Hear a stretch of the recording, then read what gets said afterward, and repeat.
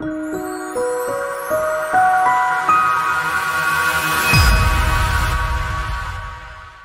video let me show you the reports and the statistics where you can see your buyers data as well as your opt-in data alright so if you want to see your buyers data what you need to do is you need to click on the edit button of your product that you have created. So this is the test product that we created and you need to go to the statistics alright?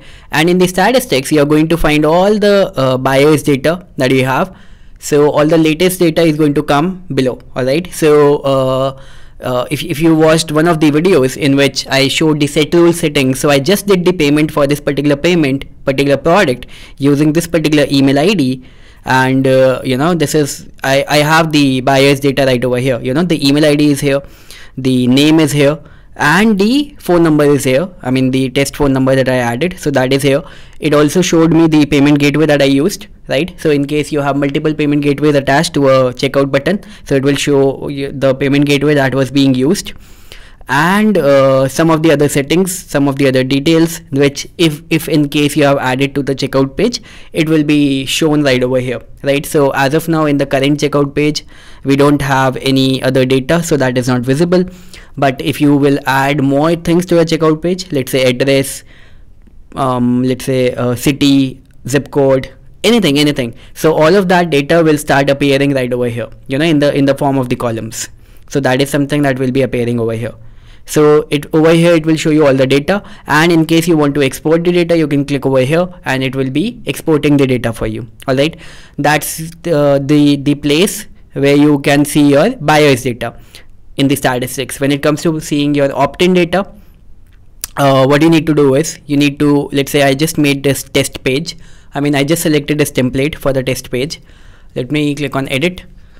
Um, let's say let me open saurabhbhatnagar.com and over here I have added the opt-in form. Let me click on this. And in the opt-in form let me add it uh, let me add on submit go to saurabhbhatnagar.com maybe in this particular video that is fine. In this, this particular video window that is fine.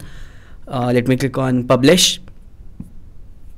Okay so now when this is done let's suppose somebody uh, subscribes to you right over here. Let's say I subscribe with this email ID so as per the instructions I have gone to the thank you page right? That is done uh, but more importantly let me go back to the page outside. And over here I will go to the reports okay? And you can see that my name is there and my email ID is there. So these were the two things that I have add, added to the form and both of these uh, details are available right over here right? So that's how you will get your opt-in data. I mean if you will have more fields in your uh, opt-in page. Let's say you know phone number address and uh, any any such uh, any more data. So that is also something that will be visible right over here. And then what you can simply do is you can export the data just in case you want to do that right? So this is this is where you can play around with the things and this is where uh, you know you will be getting all your data